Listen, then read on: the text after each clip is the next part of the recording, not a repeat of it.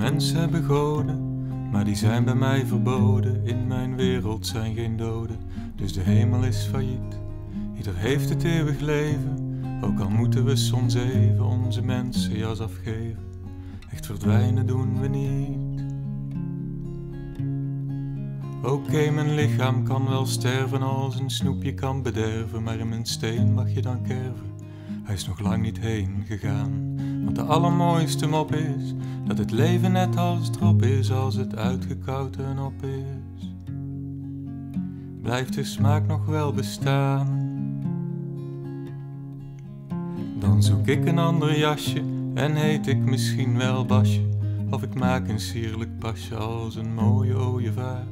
Of ik word een groepje bomen, of een koe zo'n hele slome die alleen maar staat te dromen. Of een grote adelaar.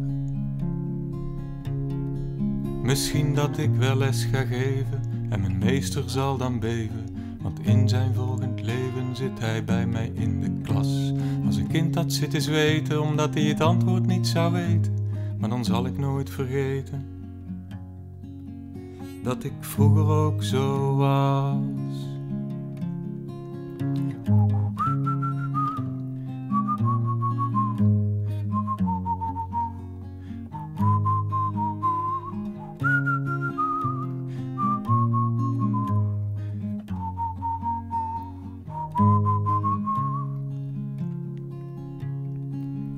Maar ik ben weer aan het dwalen, ik wilde enkel maar verhalen dat ik zelf wel kan bepalen wat mijn eigen waarheid is.